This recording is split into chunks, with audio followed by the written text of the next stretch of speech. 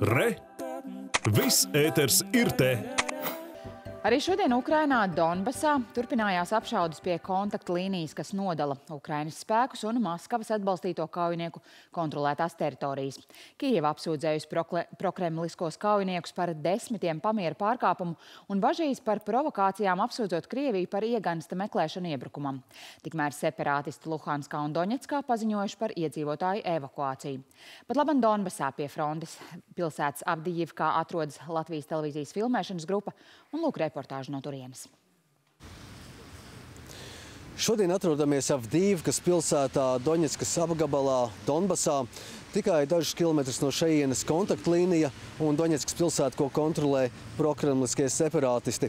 Arī šeit, saka vietēji, pēdējās pāris dienās atkal dzirdējuši pastiprinātu artilērijas dunoņu tālumā, līdz ar to atkal satraukums ir palielināts. Kaut iedzīvotāji šeit pie šīm skaņām, pie šīm artilērijas dunoņām pēdējos gados ir pieraduši. Uh, Ukraiņas puse atkal apsūdz prokremliskos separātistus par pamieru pārkāpumiem atkal jau vairākas reizes, vairākus, desmiš, vairākus desmitus reižu šodien un īpaši uzmanību pievērsta separātistu kontrolētajām teritorijām, ņemot vērā, ko Ukraina norāda, ka bažīs par provokācijām no viņa puses. Uh, un šīs bažas vēl vairāk pastiprinājas fakts, ka šodien gan tepat netālu Doņetskā separātistu līderi, gan arī Luhanskā paziņojuši, ka evakuē iedzīvotājus uz Krieviju, sakot, ka Ukraina it kā plānojot uzbrukumu.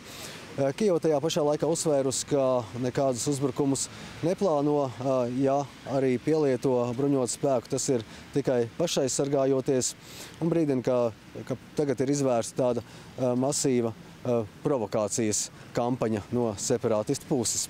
Gins Amoliņš, Aigars Kovaļevskis, Latvijas televīzija Donbasā.